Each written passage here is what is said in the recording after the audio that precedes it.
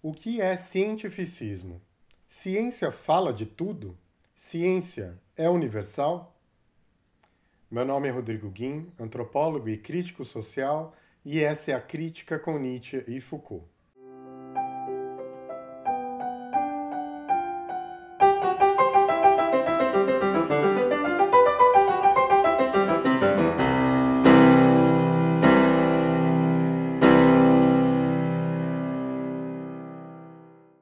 Ciência.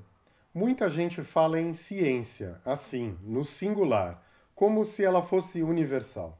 Essa ideia de que a ciência é universal está fundamentalmente ligada ao eurocentrismo, ligada à noção de que a ciência teria uma única origem. E isso ignora que na história das ciências houve contribuições de diversas culturas, para o que veio a ser chamado depois de conhecimento científico.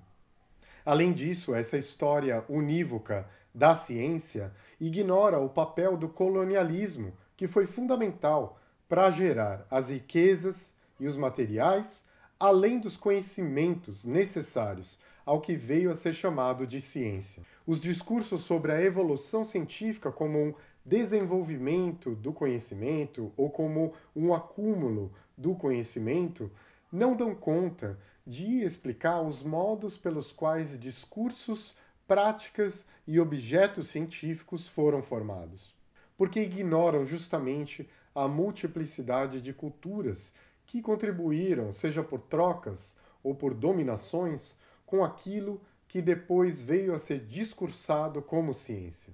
Ciência não se formou apenas por si só, por sua própria força interna. Ciência sempre se faz dentro de um campo maior discursivo do saber, dos regimes de verdade e das relações de poder e institucionais que a formam, como ensinou Michel Foucault.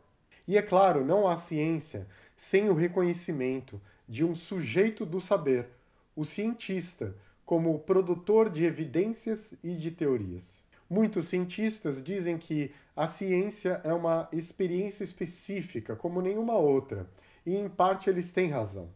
E muitos são rápidos em dizer que ciência e religião são distintas quando isso favorece seus argumentos a favor da ciência e contra a religião. Mas muitos são também rápidos em dizer que a ciência pode dar as respostas que a religião estaria à procura.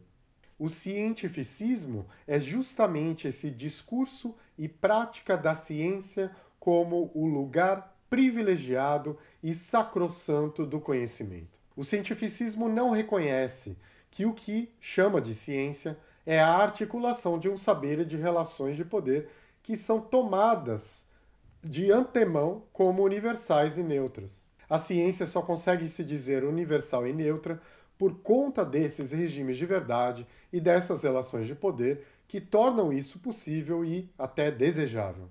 Quer dizer, o cientificismo, como essa colocação do conhecimento e de práticas científicas como universais e sacrossantas, é produzido dentro de um certo regime de verdade pré-científico. A crença na razão universal, que pode e até deve governar o mundo, segundo alguns, antecede a ciência moderna como a conhecemos. Não podemos defender a ciência como universal sem com isso reproduzir relações de dominação e de colonialismo. Não podemos dizer que ciência é universal sem reproduzir o eurocentrismo e o ocidentalismo. Os discursos e práticas científicas não vivem num vácuo de poder. Muito pelo contrário são fundamentais na reprodução dos saberes dominantes e dos modos de vida dominantes. Realizar uma análise dos efeitos das ciências em nossos modos de vida é compreender que todas as ciências são produzidas em contextos socioculturais, históricos específicos, que produzem e reproduzem modos de vida dominantes e modos de vida como subjugados. A dimensão do saber que torna possível reconhecer algo como científico é uma dimensão sem a qual a chancela de ciência não seria colocada. Para podermos compreender como algo pode vir a ser chamado de científico, precisamos compreender a dimensão do saber, dos regimes de verdade que tornam tal chancela possível. Como diz Michel Foucault, citação: trazer à existência a dimensão do saber como uma dimensão específica não é rejeitar as várias análises da ciência. É desabrochar o mais amplamente possível o espaço em que elas podem vir a se dar. Fim da citação. Muitos cientistas dizem que nunca chegam à verdade total sobre qualquer coisa. E dizem que isso faz parte da humildade da ciência e do cientista. Mas essa mesma incompletude é criticada em outras esferas, pelos cientistas, em esferas como a religião, a filosofia, as artes. A incompletude que a ciência permite a si própria, a noção de que o conhecimento total nunca chega, a chamada atitude científica, que se permite falar dos objetos, mesmo sabendo que faz apenas uma aproximação possível desses, tudo isso o cientificismo não permite a visões de mundo que não são consideradas por ele científicas. Para o cientificismo, se houver uma última palavra sobre qualquer evento natural ou humano, essa última palavra é da ciência. O cientificismo é a crença da ciência como palavra final. Nesse sentido, o cientificismo opera dentro de uma vontade de verdade, que é uma só com aquelas religiões dogmáticas que o cientificismo tanto critica. O cientificismo de hoje opera numa racionalidade que não evoluiu muito cientificamente, uma racionalidade que ficou estancada no século XVIII, que é quando se acreditava que o mundo era racional e que a razão restituiria a ordem do mundo e o lugar do sujeito nesse mundo. Essa visão de mundo, esse saber, está calculado na ideia de que tudo o que acontece tem uma causa unívoca, originária, e que o dom inato do ser humano seria o uso da razão. Mas, como disse Nietzsche, citação: Não temos nenhum órgão para o conhecimento, para a verdade. Nós sabemos, ou acreditamos, ou imaginamos, precisamente tanto quanto pode ser útil no interesse do rebanho humano, da espécie. E mesmo o que é aqui chamado de utilidade, é no final apenas uma crença, algo imaginado e talvez precisamente a mais fatal estupidez pela qual um dia iremos morrer. Fim da citação. É, isso diz bastante dos dias atuais. Muitos cientistas prometem a resolução de problemas universais. Alguns, como Sam Harris, por exemplo, têm proposto, inclusive, que a ciência um dia vai nos mostrar o que é o bem e o que é o mal universal. E é interessante como eles são chamados a falar disso sem precisar apresentar os resultados que comprovariam que a moral é universal. Apenas dizerem que é possível que a ciência faça isso e serem ouvidos sem apresentar qualquer resultado minimamente legítimo de pesquisa já demonstra que existe um campo dos regimes de verdade e do saber que espera e deseja que o mundo se comprove, afinal, cientificista. O sonho do cientificismo é a comprovação de que o mundo é um livro aberto racional, esperando para ser lido e reconfortando os sujeitos sobre o fato desse mundo ser cognoscível e ter uma grande ordem que organiza. O sujeito cientificista quer o mesmo tipo de conforto que o fundamentalista religioso quer. Nesse conforto que cientificistas e religiosos dogmáticos compartilham, o mundo tem sentido e o sentido do sujeito é carregar o fardo de desvendar esse sentido. Esse é um sujeito que prefere acreditar em mentiras do que não acreditar em nada. O cientificismo não se satisfaz em conhecer. O cientificismo quer moldar o mundo à sua imagem. Talvez a maior utilidade do cientificismo seja um acontecimento que não vem pela sua vontade consciente.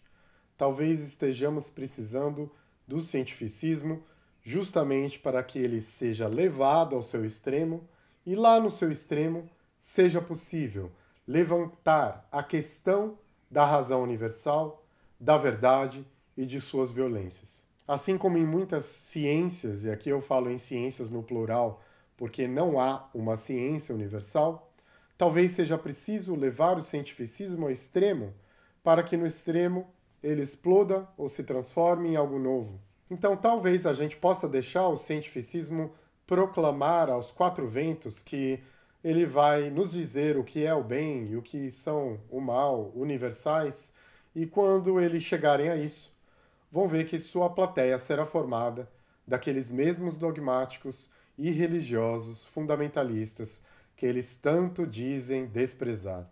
E talvez esse meu pensamento seja só um desejo louco que não cabe em nenhuma ciência. Talvez esses gurus que se dizem experts em temas de cultura e moral apareçam como que realmente são: reprodutores de vontades de verdade dominantes e operadores de vontades de poder. A crítica ao cientificismo não é uma crítica à ciência, isso nem existe, a ciência é uma crítica aos que fazem das ciências um dogma, pois ao fazer isso estão produzindo fundamentalismos. O negacionismo científico é um dos fundamentalismos produzidos em reatividade ao cientificismo. O cientificismo é cúmplice dessa produção desenfreada de negacionistas, assim como de fundamentalismos religiosos. Quando a ciência quer tomar para si a tarefa de criar e julgar todos os valores. Ela necessariamente produz resistências e reproduz outros espaços que querem o mesmo, que querem ditar os valores de uma cultura ou de uma sociedade.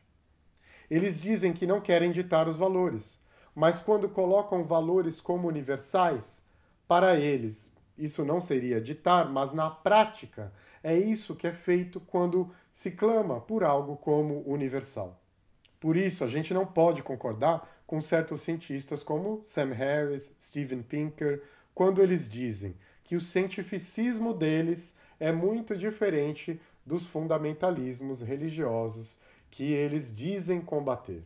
Como disse Nietzsche, citação: A ciência não tem consideração para os propósitos finais, não mais do que a natureza, mas assim como esta última ocasionalmente alcança coisas da maior adequação sem a intenção de fazê-lo, também a verdadeira ciência, como a imitadora da natureza em ideias, ocasionalmente e em muitas maneiras promovem a utilidade e o bem-estar do homem, mas também sem a intenção de fazê-lo.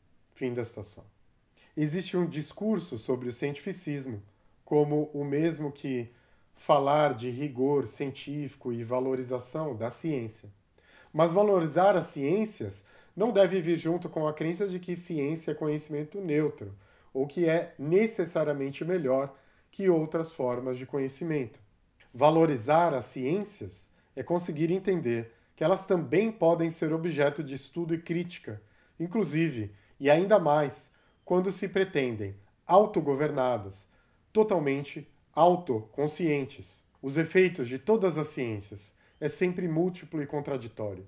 O cientificismo que se torna dogmatismo reproduz negacionismos e fundamentalismos de várias ordens. Bom, pessoal, por hoje é só. Claro que não dá para esgotar esse assunto tão amplo tão rapidamente, mas eu tentei, na minha maneira, nesse vídeo ensaio, fazer o máximo que eu pude. Para quem puder se tornar um apoiador, vai lá no Apoia-se, apoia esse canal, para a gente estar tá produzindo cada vez mais e vocês terem acesso a cursos, se quiserem, se desejarem. A gente se vê.